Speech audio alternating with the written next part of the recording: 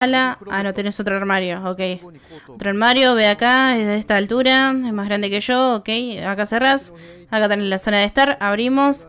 Tenés una pequeña habitación que está perfectamente para coger.